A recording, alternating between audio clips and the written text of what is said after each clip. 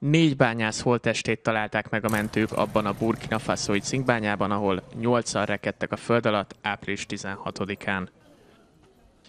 A hat Burkina Faso-i, egy zambiai és egy tanzániai bányász egy kanadai cég által üzemeltetett bányában 700 méter mélyen ragadt, miután özönvízszerű esőzések árasztották el a föld alatti járatokat. Eltűnésük óta nem sikerült velük kapcsolatot teremteni, de a mentők abban bíztak, hogy talán egy menedékkamrában tudták biztonságba helyezni magukat, ahol vizet, élelmiszert és gyógyszereket is tárolnak.